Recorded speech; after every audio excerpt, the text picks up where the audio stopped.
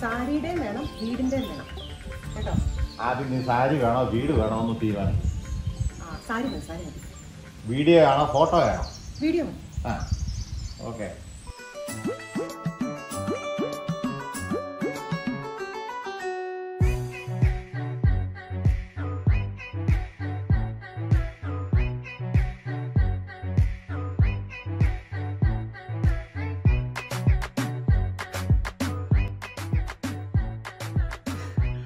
അയ്യോ.